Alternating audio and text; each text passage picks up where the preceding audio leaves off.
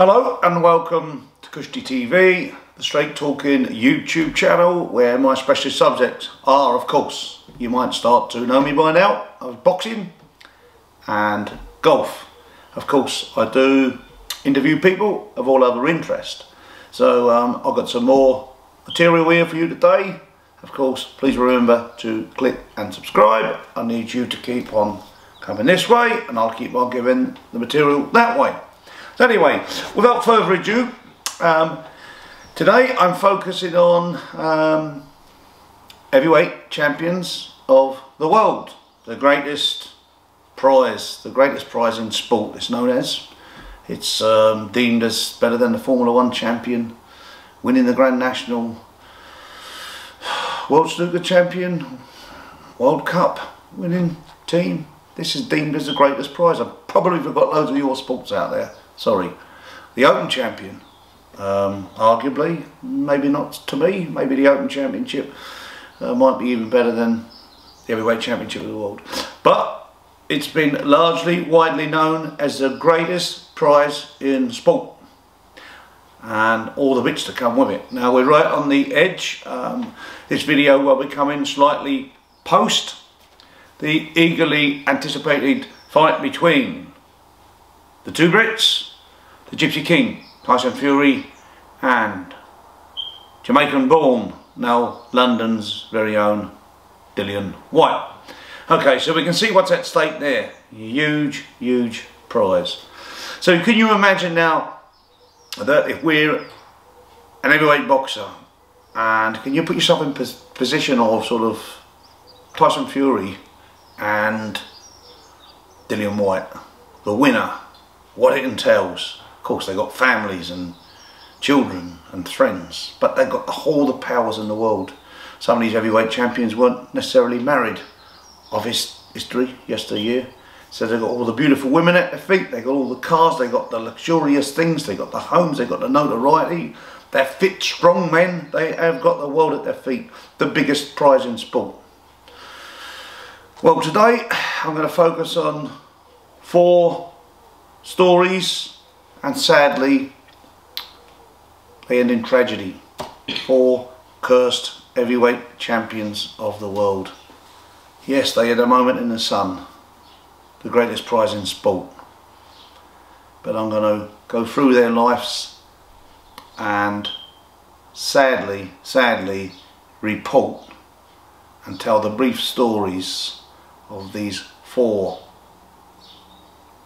heavyweight champions that were somewhat cursed or their lives ended in tragedy. Tragedy, cursed, it's a similar thing.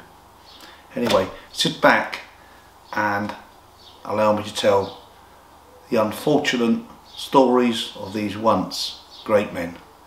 Okay, so please allow me to bring in the first heavyweight champion of the world that had such a sad, tragic ending. He was born in 1958 in Louisville, Kentucky, the very same town as the greatest Muhammad Ali. Yes, uh, they produced two heavyweight champions, the greatest and this man himself. Born 1958, he was, of course, um, Greg Page. Greg Page um, had a good amateur career. He was tipped to go to the Alps as a professional, that he did. Um, so a professional in 1979 and in 1984, he top of the world. He became the WBA champion of the world by beating South Africa's Gerrie Coetzee in eight rounds. Yes, so here he is. He's the champion of the world. Um, he lost his title. But you can imagine now of today's fighters, if you're champion of the world, you'd have an agent, you'd have a marketer. So you'd be out doing dinner speeches. You wouldn't necessarily at to fight.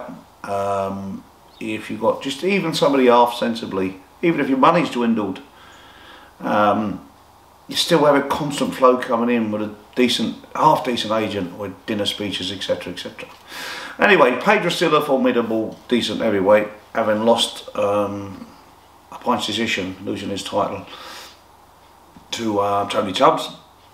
And anyway, moving forward, he was still a, a decent fighter, but he never regained his heavyweight championship of the world. He did um, guide Oliver McCall to beating Lennox Lewis, the heavyweight champion. He'd done some training, but um, finances uh, forced him back out of retirement.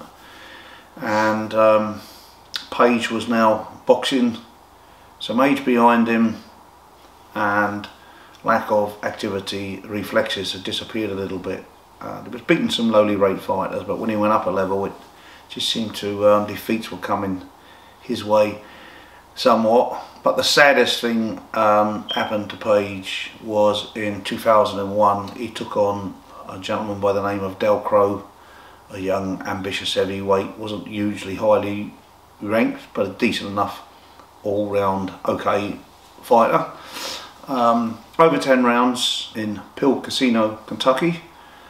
And in the 10th round, I've watched the fight. It was a it was an okay fight, it was a decent fight, and he seemed to be boxing nicely.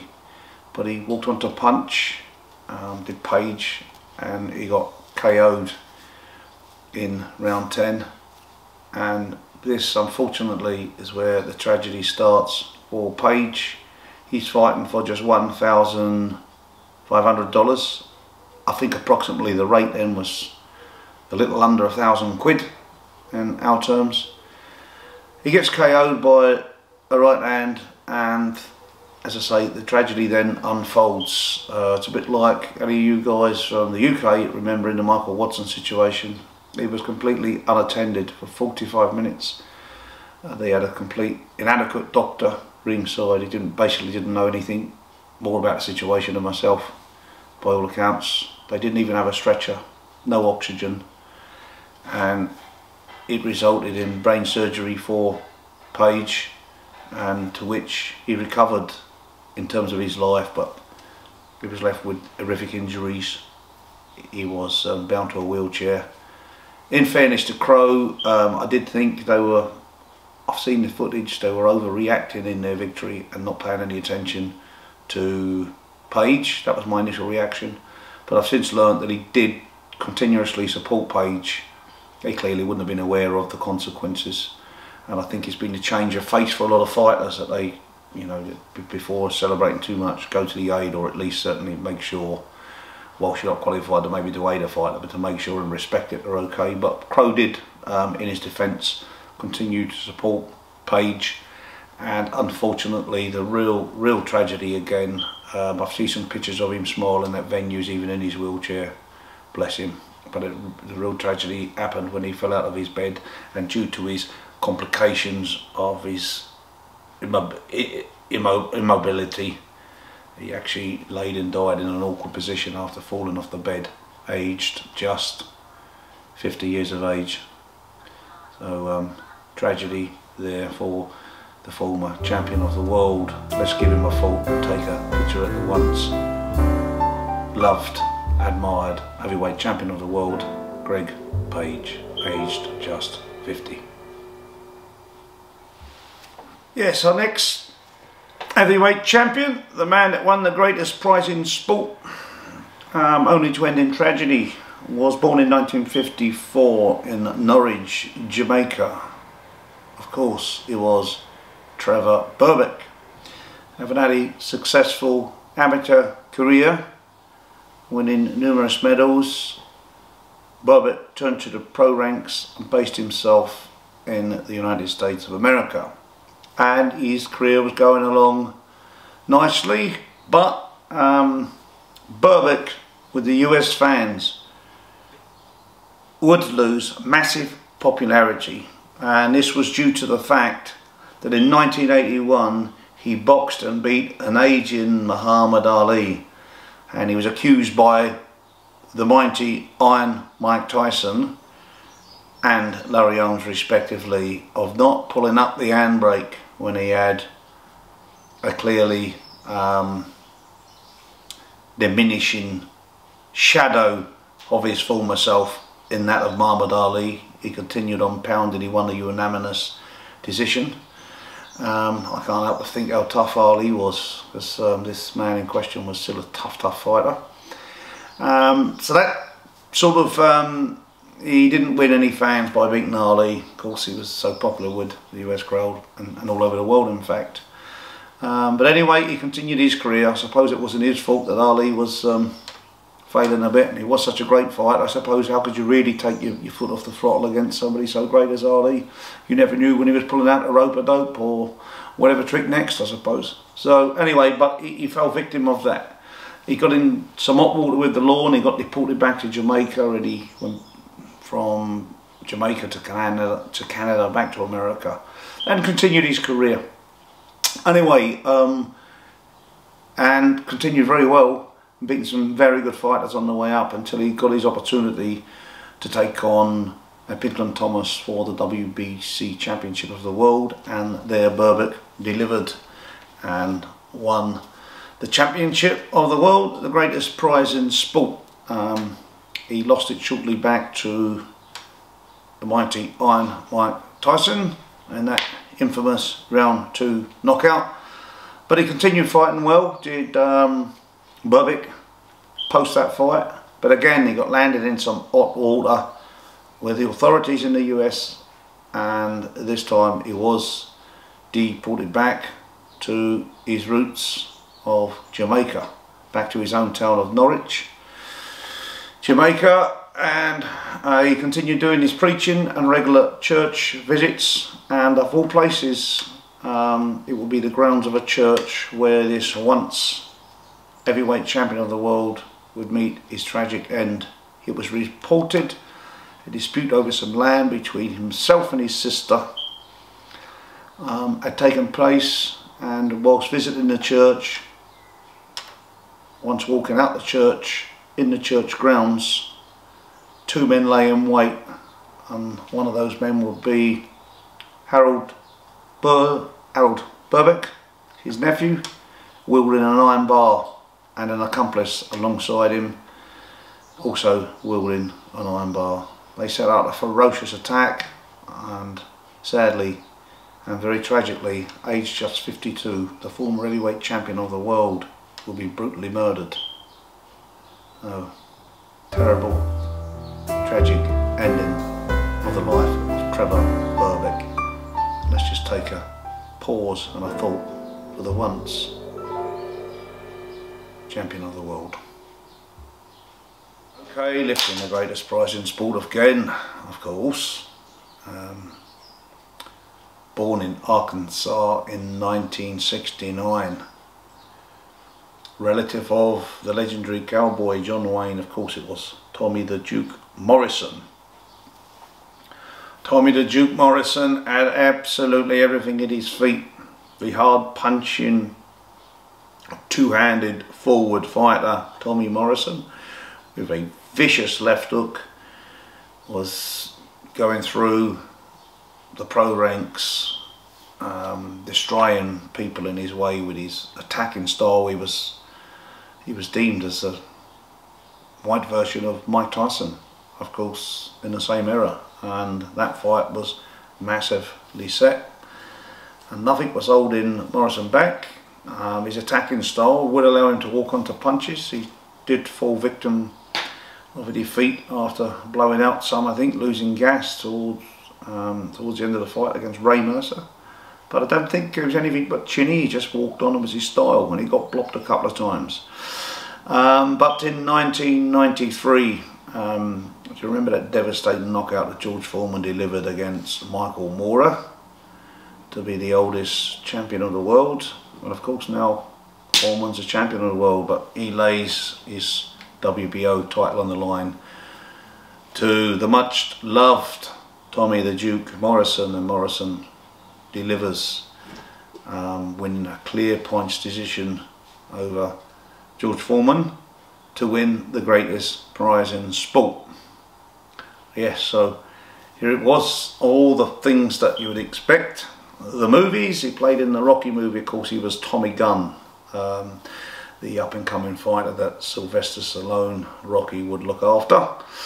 And, um, you know, with his uh, long blonde hair and good looks and the body to match and all the bits with it, and laid at his feet all the temptations of life. And um, yes, sadly, uh, he did defend his title successfully and he lost it to Britain's Michael Bentt, the US based fighter, and a very um, surprising defeat in round one. But his career was picking back up and he was tipped to still still go on to fight Mike Tyson for the championship of the world. But out of the blue, he's wild living, he's fun for life. Somehow or another, he contracted the HIV virus, which potentially then was and could have been deadly.